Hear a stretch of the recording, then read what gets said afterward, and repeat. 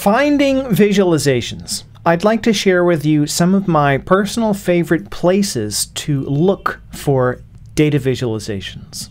First up is Reuters Graphics. Reuters Graphics has a ton of data visualizations relating to current events, and this updates probably about every week or so, or more frequently. For example, this is a great visualization on plastic. A plate full of plastic, visualizing the amount of microplastic we eat. Pieces by Reuters Graphics are characterized by the sort of scroll aspect, where when you scroll through the piece, it sort of progresses in what it shows you. Here's another piece by Reuters Graphics, Drowning in Plastic.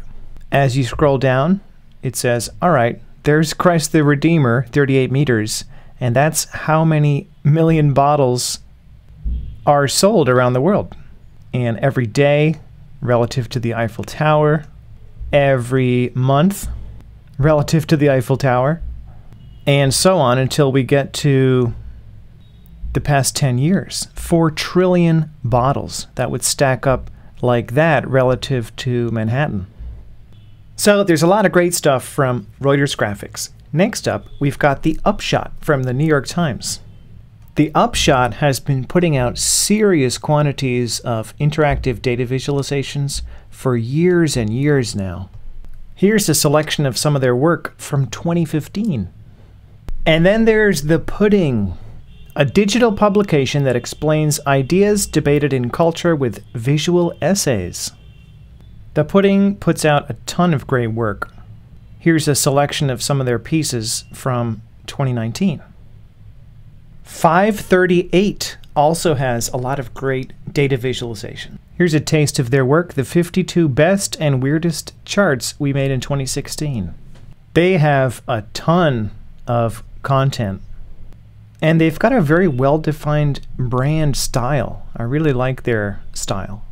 And they release new stuff all the time. And then there's flowing data.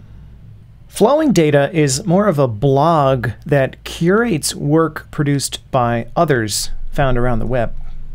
It's updated pretty frequently, so this is a great place to check into from time to time. There are more places like Reddit, Data is beautiful. This is another continuously updated, curated list of existing data visualizations, and this is more of a crowdsourced style. And then there's the Kantar Information is Beautiful Awards. This is an annual awards ceremony where people submit their visualizations throughout the year, and every year some winners are selected. There are winners in different categories like unusual, information design, humanitarian, politics and global, and more.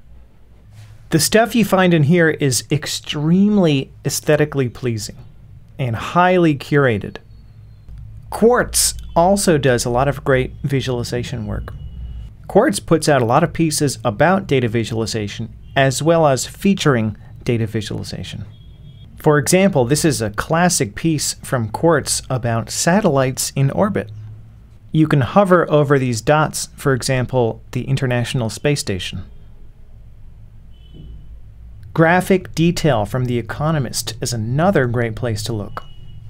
They have a daily chart section where they put out a visualization every day, and they also do very detailed pieces for print Around Christmas time, they put out this amazing PDF, A Year in Graphic Detail, that has a lot of their print visualizations, like this awesome one about space launches. These visualizations are extremely information dense, and you need to spend a lot of time with each one in order to really read them properly, but they're very, very well done and well worth studying. And of course, there's hashtag DataViz on Twitter. This is kind of a zoo, and there can be a lot of noise in here, but I often like to just check hashtag DataViz on Twitter because it's a great place to find new releases or old stuff that's being shared again after a long time. When you're working on data visualizations yourself with D3, there are a couple places you can look for implementations, including Block Builder Search. Block Builder Search is a search engine for blocks.org, which is where a lot of D3 examples are hosted. If you don't enter anything, but then you click with thumbnail image, it shows you the most recent pieces on blocks.org. And then you can search. For example, globe will show you a bunch of globes. Force will show you force directed layouts. Or any technique like scatterplot will yield a bunch of examples. You can then click through to any one of these to this link here that says blocks.org to see the running example inside of blocks.org. And if you scroll down, you can see the code right there that you can use and draw from. Observable is another great, relatively new source for data visualization content. Observable has an Explore section where you can see trending pieces, recently published pieces, most liked last week, all time most liked, and also cataloged by topic. For example, in the visualization topic, it's a collection of implementations for various techniques. Like this very cool example, density contour matrix with brushing. That's how you can go about finding visualizations.